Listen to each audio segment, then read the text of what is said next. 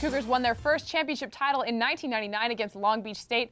A star international athlete on that team was Ossie Antonetti. Jarom Jordan sat down with Ossie to catch up. He's got this week's Cougar Conversation.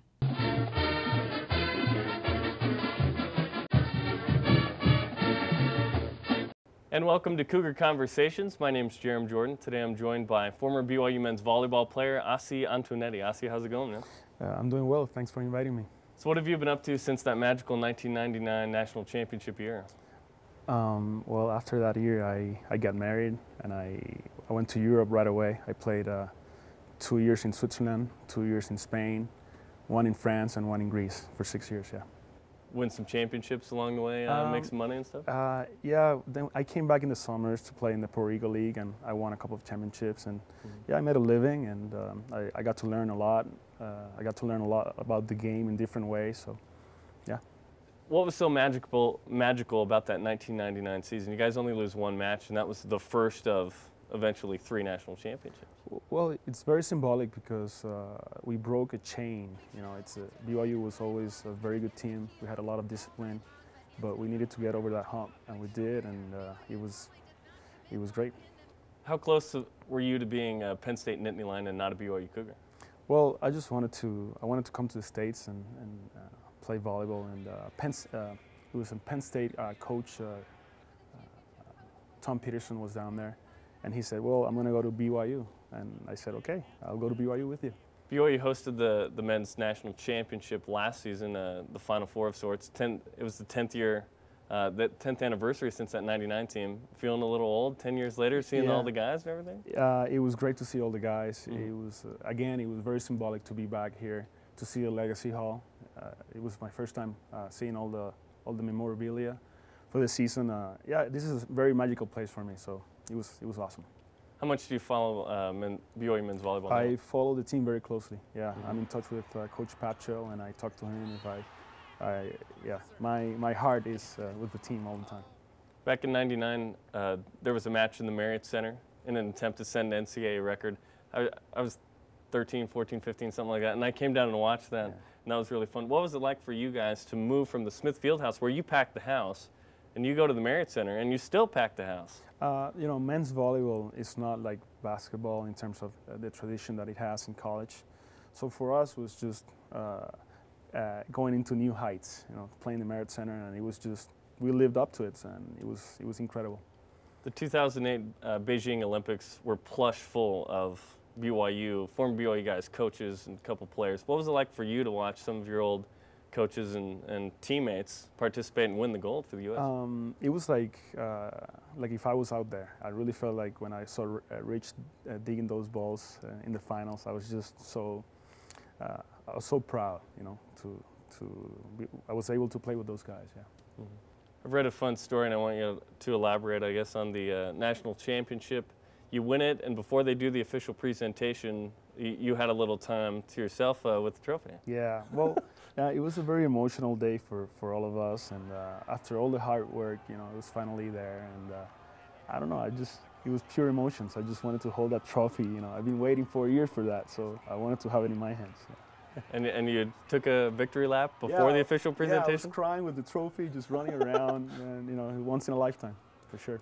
Did, did they say anything to you after that, or just kind of like, okay, thank you very Uh, much? yeah, I'll take pretty much. that. Yeah, just uh, let me let me have it back. You know.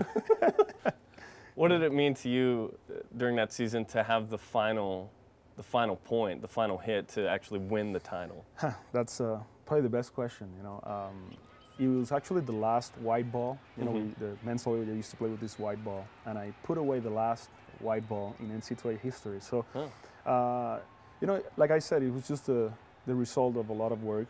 It was it was all about how we did it in our side of the court. Mhm. Uh, training against our our our just our teammates was a, a lot harder than playing Long Beach in the finals. So every day was just a battle, and uh, the culture was in place, and it just it just happened. Who do you think is the greatest uh, Puerto Rican BYU men's volleyball player? Um, Hector LeBron for sure because he won he won two championships and uh, he's he was such a winner. You know, I, I helped him out to come up to come over to Utah and uh, he won two, so I won I won one. So only championships can talk. You know. What was your vertical leap at your peak uh, in your day, and what what would that be equivalent to, like on a uh, basketball backboard? Um, you know, uh, it was always, uh, I felt that I jumped higher in the matches Mhm. than when we tested. Uh, I, I think it was about pretty close to 40 inches, Mhm. but I, I'm sure that in the matches, I, you know, it was, uh, there was more to it. Okay, rank these three things in order of uh, awesomeness. Uh, your hair back in the day, similar to what you have right Okay. now. The the cast that you played with on your hitting hand your sophomore year, and your vertical leap. In your opinion. Um, well, I have to I have to say that the vertical because he was always there. He was Mhm. consistent for four years. you know, sweet. I, I never I never had uh, big injuries in my knees or my Mhm. ankles. So What's your vertical now? um, you know I still play uh, once in a while, but it's not not even close. not even In close. the in the twenties, low Maybe. thirties. Yeah, that would be nice. Yeah. Okay, so you'd have to say vertical first, and then Vertical ca- first. cast or hair. It has to be the ca- the cast because we beat Hawaii in the MPSF quarterfinals hmm at home my sophomore year, and With that was yeah, it was on.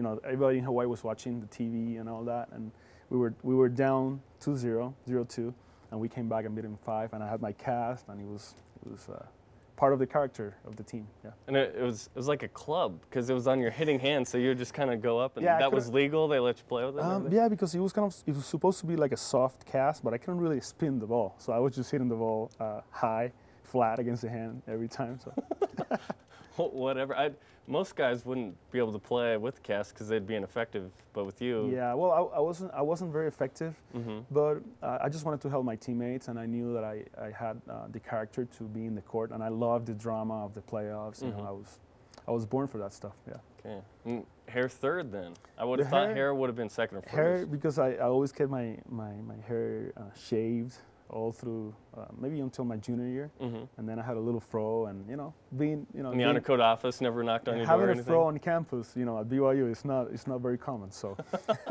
Nor, nor is a little flavor saver you got going now. definitely, definitely. Well, I see it's been fun chatting with you, and thanks for the time. no, thank you very much. Appreciate it.